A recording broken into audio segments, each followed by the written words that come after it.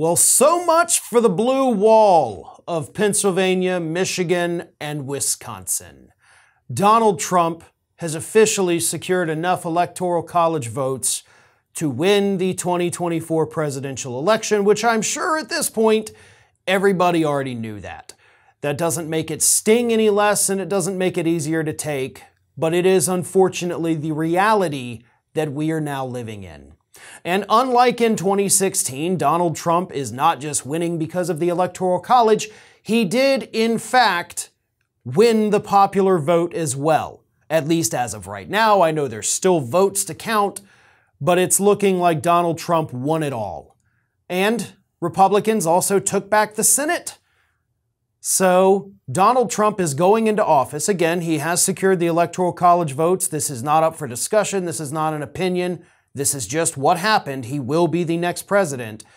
And Republicans will control the Senate, which means that every single judicial appointee from Donald Trump is going to be quick, uh, fast tracked to get, to get confirmed. So Clarence Thomas, I do believe, will likely resign or retire, I guess it would be called, uh, in the next few months once Donald Trump takes office so that Trump can replace him with somebody who's 40 years old with no legal experience at all, possibly Judge Aileen Cannon. And then we might see the same thing happen with Samuel Alito.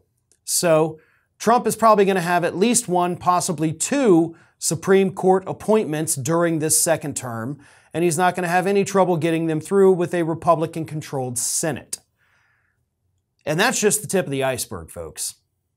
The big problem, of course, as we all know, is the threat of the creeping authoritarianism. Project 2025 and all of that. They got everything they wanted. The American people gave them that. They didn't have to steal it. The voters just said, yeah, here you go, do it. I'm not angry at Donald Trump today, believe it or not. I'm not angry at J.D. Vance. I'm not angry at the Republicans who won the Senate. I'm not happy about any of those things, but I'm not angry at them. My anger today is directed at the American voters. And I have been on social media for about the last 24 hours. I got about 90 to 120 minutes of sleep last night. A little, little unhappy, a little unpleasant right now. But let me tell you, it's the voters. I'm not going to sit here and say that Vice President Kamala Harris ran a bad campaign. I don't think she ran a bad campaign.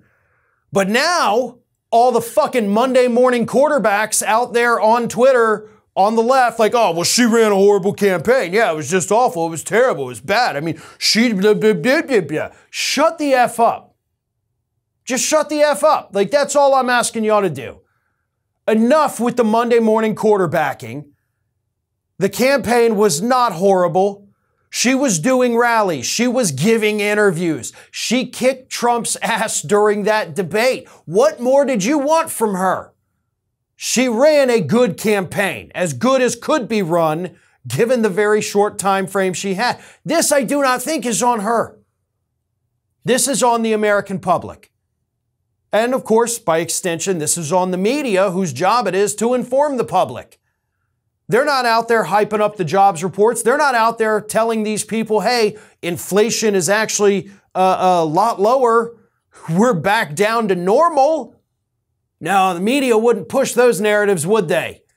Because that would be seen as biased.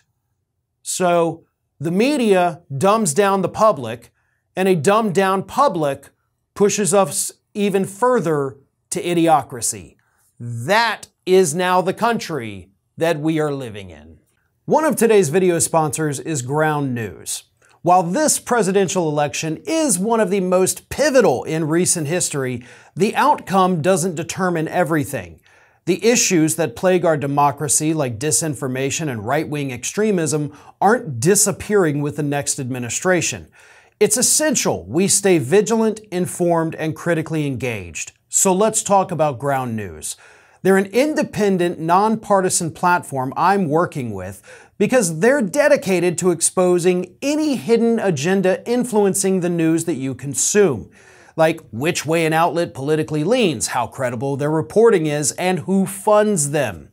Use their browser extension, app, or website to instantly access every perspective reporting on any issue, compare coverage, and avoid being manipulated. Plus, my Vantage plan gets me access to features designed to expose opposing narratives circulating in left and right wing media bubbles, plus my own blind spots too. I think it's critical to stay aware of more than just the headlines you agree with because we know how easily Trump's lies spread and the impact it will continue to have for a very long time. So go to ground.news slash ROF or scan my QR code for credible news you can trust and confidently share with others.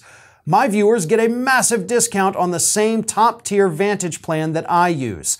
With everything at stake, we can't afford to not pay attention, so subscribe today. The fight for democracy doesn't stop after November 5th, it's just getting started.